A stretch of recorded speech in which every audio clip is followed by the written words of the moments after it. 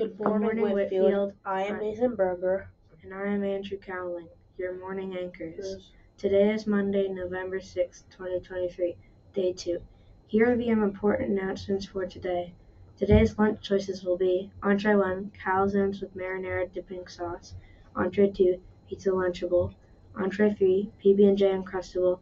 Veggies of the day, baby carrots or broccoli florets with spinach. Here's today's forecast clouds and sunshine with a high of 62 degrees.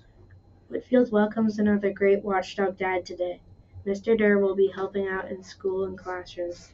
Be sure to wave, give a fist bump or high five, and say hi to him today if you see him around the school. Thanks, Mr. Derr, for being our watchdog dad. That there is no school for students tomorrow, Tuesday, November 7th.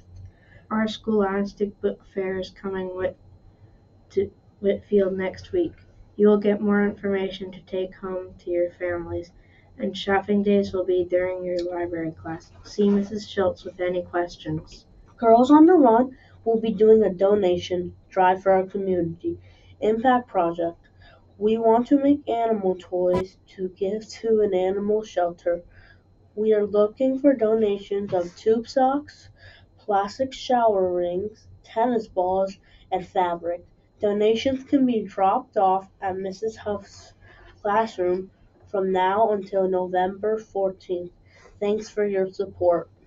November is Native American Heritage Month.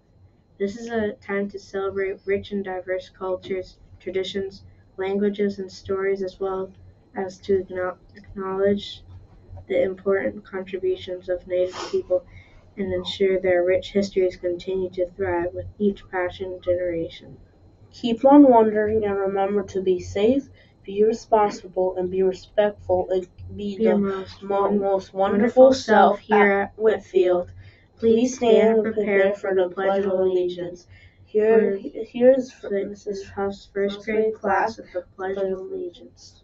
allegiance to the flag of the United States of America